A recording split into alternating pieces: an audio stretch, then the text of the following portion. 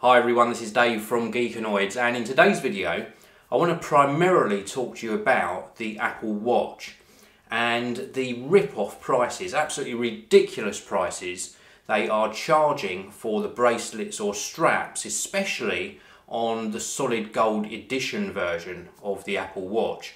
Before I talk about the Apple Watch, I want to talk to you a little bit about the new MacBook. I did a video yesterday, straight after the event that Apple held to launch the new devices, and I got a lot of questions and comments to ask me to sort of further expand on my thoughts about the new MacBook. So I want to briefly talk about uh, sort of my opinion a little bit more in depth on the new MacBook. Now, when I first saw this, I'm sure this happens to a lot of people, you see a new product and you think, wow, just look at the design, it's super thin, uh, retina display, and you sort of overlook some of the actual more important things. And with the new MacBook, what I overlooked yesterday was the real performance and specifications. Now, obviously, it's a super thin MacBook. You can see on your screen here, 13.1 millimeters uh, thin, and that's at its thickest point. 0.9 kilograms and 12 inches. So it's got a 12 inch retina display, so really high resolution display. Now that is really good. That's really appealing because you're thinking, wow, it's ultra portable. It's also got lots of other new features as well. The keyboard's been improved. It's available in three different colours, silver, gold and space grey. Uh, the keyboard looks amazing. So these are all the things that when I was hearing the announcement, I'm thinking, yes, this is a superb upgrade and the screen as well retina display. Now I'm using to read my notes at the moment. Excuse me itchy nose. I'm uh, actually using a retina display MacBook Pro at the moment and the screen's amazing on this so I've got no doubt that the screen on the new MacBook will be equally as good. So all of these things really do make you think yes this is going to be a, a really good upgrade and then you look at the specifications. Now I've got specifications up here and you've got two main options in the three different colours. You have got one that comes in at £1,049 in the UK. That has 256 gigabytes of storage, 8 gigabytes of memory and Intel HD Graphics 5300.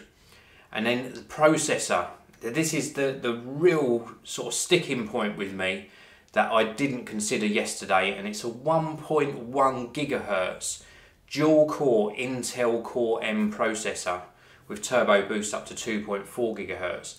Now it'll perform okay, but it's nowhere near as good as the current generation of MacBook Airs. You know, that's, that's a real step down in performance. And they've had to do something somewhere to save space. This is an ultra thin laptop and, and models that run Windows do this as well. They use really low power processors uh, so they don't generate too much heat. This is how Apple did the fanless design on the new MacBook as well.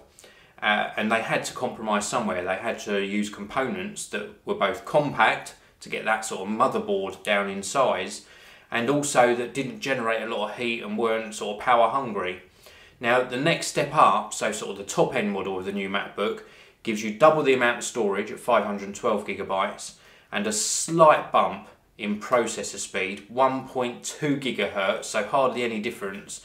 Dual core again, Intel Core M, and that's costing you £250 more at £1,299.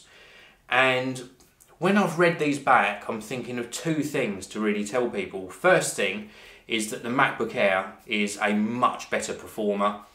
The second thing I would say about this and what it sort of made me think last night was what they've done here is they've sort of strapped like a, a Retina iPad Air, like a larger iPad Air, maybe the iPad Air Pro, and put it onto a keyboard, sort of fixed it so you can't remove the keyboard, and you've got this new MacBook, you know, a very low power Ultrabook.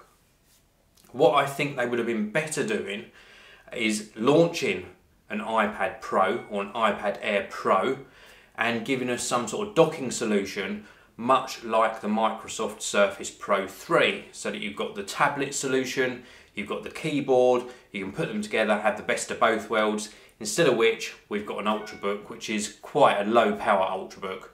Anyway, enough talking about the new MacBook. I said I was going to briefly talk about that, but really I want to talk to you about the uh, Apple Watch Edition. I want to start off with this model because this is the model I am not going to purchase. Now I love my watches, I'll just let you know straight away, I am well informed on timepieces. I love my traditional watches. I wear a Rolex Explorer at the moment. Um, I've got other high-end timepieces as well. And you can pay a lot of money for what I would call a traditional uh, horological timepiece. So a traditional timepiece with a uh, automatic movement, an analog face, maybe some different complications on it. Not a smartwatch by any means, and you can pay a lot for a really nice watch. With something like a Rolex or a Patek Philippe or some other manufacturer watches, you can purchase one and it might go up in price. It might lose a little bit of price over time. Using this as an example, okay, this is a Rolex Explorer. These come in at round about sort of £4,200. If you buy one that's five years old, it's probably only gone down about four or five hundred pounds if it's in good condition, so it hardly loses any sort of value over the years. And some models become very rare and go up in price. That's not going to happen with the Apple Watch. Now, there will still be people that buy the Apple Watch edition, definitely. But I want to just run over some of the prices and then show you something that's so ridiculous, which is the price of the watch straps or bracelets. So, Apple Watch Edition starts at £8,000 and that's for the 38mm 18 carat rose gold case as you can see on your screen here and that has the white sport band so a gold watch with a rubberized sport band bit of a mismatch can't understand why they did that if you want to go up to the 42mm version then you're going to pay £9,500. Wow, 9,500 for that one. And then we've got some yellow gold options here. Again, 38 millimeter, £8,000, 42 millimeter, 9,500. This is where things start to get even more expensive. 38 millimeter rose gold with a leather strap and rose gold buckle. This is coming in 13,500. Then we've got other options as well, 42mm, 18 karat yellow gold, 12,000 and the range tops out really at that £13,500 price point. What I want to show you, and unless I'm missing something, I might be missing something and correct me if I'm wrong, what you're seeing on your screen now is the 42mm 18 karat yellow gold version with a black sport band. So this is a rubberized sport band and it's coming in at, where's the price, just down here in the corner, £9,500. 9,500. Now this next one is the same watch, so it's a 42 millimeter, 18 carat yellow gold. So let me just flick back to the other one. So 42 millimeter, so both the same cases, both the same case size, and this has got a leather strap with a gold buckle, 12 thousand pounds. So just for switching up the buckle, you are paying, if my maths is good, and yes, I have got GCSE maths, got that when I was 40, £2,500. £2,500 to change the strap from a rubber one to a leather one with a gold buckle. It doesn't even say leather on here. I'm assuming that it is leather. Let me just double check. Do, do, do, it doesn't even really sell the strap. Where's the strap? So it doesn't give the specifications of a strap. I can only assume by looking at this that this is a leather strap and it's costing you £2,500 just to change that strap. I'll show you that once more. 9500 for this one with the rubber strap, same watch, leather strap, £12,000. Ridiculous, absolutely ridiculous. Apple are bonkers on this one. You know, I love Apple products, don't get me wrong. You know that I have the Apple MacBook Pro. You know that I edit my videos on the Mac Pro. I've got an iPad Air, I've got an iPhone 6. I've, I just love Apple products. I live within the Apple ecosystem, but this is just ridiculous. Absolutely ridiculous. Anyway, moving on. We've got two other versions. We've got the Watch Apple Watch Sport, uh, which has got 10 models in it. This is the entry level. This is what you're going to be going into if you're buying at the cheapest entry level. And for this, you're starting off at £299. I think that's a reasonable asking price. You're getting a very uh, good product, aluminium casement, uh, rubber straps on them, some great features. 299 for the smaller one, 38 millimeters. Three, uh, 339 pounds for the 42 millimeters. You've got various colour combinations. This is all that changes here really. It's just the different colour combinations until you get to the one with the black strap which has got a space grey aluminium case. So they've done the, the anodizations of the case. This one looks really nice. I like the look of that, very sort of understated look. And then the mid-range is the Apple Watch. So nothing other than Apple Watch. And this starts at £479. Stainless steel case, uh, if you want to go up to 42mm stainless steel case, 519 So there are your two prices there. 479 for the smaller one, 519 for the larger one. Again, if I scroll across and there are 20 different combinations of models here, uh, when you get to something like the Milanese loop, then you're paying a little bit more. That's this sort of mesh type strap in the middle here. You're paying 559 for the smaller one, 599 for the larger one. That's my favourite actually. I really do like the look of this particular strap. And then you can go up in the range with leather straps and you can go all the way up to the very top end model.